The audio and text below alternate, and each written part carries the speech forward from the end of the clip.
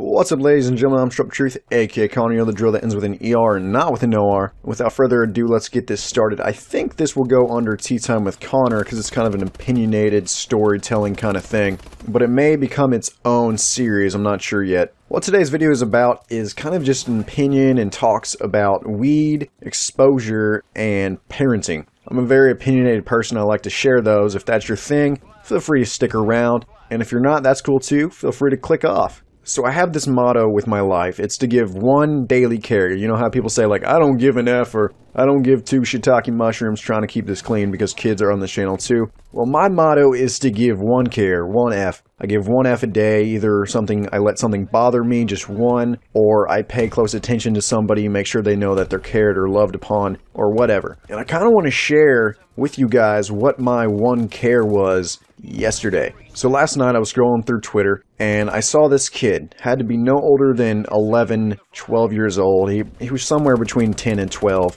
And what he was doing was he was taking pictures of him smoking weed. And here's where things start to get sketchy. This video isn't about, and I don't want it to be about legalization of weed, marijuana, the good bush, the Mary Jane. I don't want it to become a heated discussion. I'm not even going to state my opinion on whether I think we should be legal or not. I'm going to keep this a very non-biased video, and we're just going to talk about my daily care and what I cared about. So this kid, I saw him smoking weed, and it hurt me. He was posting pictures of this. When I was 9, 10, 11, I didn't even know what weed was. And that brings it to the exposure part. Kids nowadays are so much more exposed to things that people that I knew or the things that I did when I was his age was not even in comparison. Things are being much more exposed nowadays. So what I decided to do is message this kid. All I did was very cordially, I was just like, hey bud, I was wondering, how old are you? And he started just immediately cussing and being profane with me and all kinds of vulgarities and racist remarks. So I just didn't reply because I didn't want to start anything with a, you know, a 10 year old kid. I'm grown, I'm a lot more mature than that. But his reaction, it hurt my soul even more. Like at this point, I'm just like, ah, oh, God, what is this world coming to? I'm not saying that weed is bad or good or anything like that. I'm just saying the fact that this kid has the ability to have it, the fact that he's exposed to this, that knows this. At 10 years old, I knew what cartoons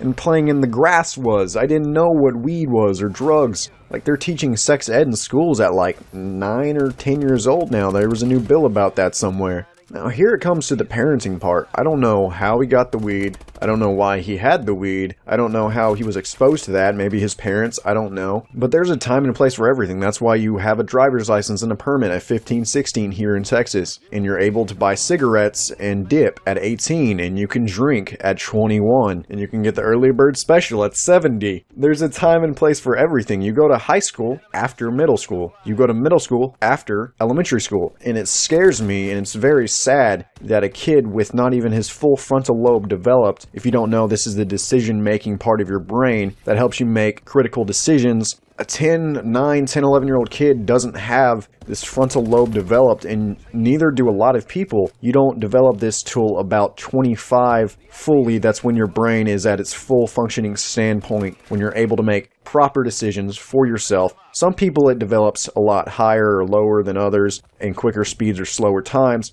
I know some 40 year olds that are incredibly stupid, and I know some 16 year olds that are super smart and very mature for their age. As I said, this is an opinionated video, and my opinion is that it's not okay for this 10 year old kid to be smoking pot. It's the fact that this kid should not have the ability to have drugs in his possession. A couple years ago, his mom was changing his diaper and putting out clothes for him, and now all of a sudden he's smoking pot, and his behavior itself was just immediately just standoffish. It comes naturally when that's what you see. I, I worked at a daycare for a long time and I'd see good kids and I'd see bad kids. These parents aren't doing that great of a job training this child because as a parent, it's your job to make sure that they become good people and make good decisions. And they learn from example. If you're doing these bad things and telling them not to do that, well, they're going to obviously want to do that. That may have something to do with the fact people are making kids earlier than their frontal lobe is completely formed. 16 year olds pregnant in high school, things like that. But I've just noticed it a lot in the last century or so. It scares me for my kids. I don't have kids, but it scares me. Like, are they going to be introduced to weed and pot? And yes, I realize those are the same thing. I meant to say crack, sex, and all these things. Are we going to be babies teaching sex ed? I don't understand. I don't know. But I guess this was kind of just a rant of my opinion on it and to let something off my chest. This was very rambly and I'm sorry for that, but this was my daily care, guys. I hope you give a care for someone else today. Have a good day.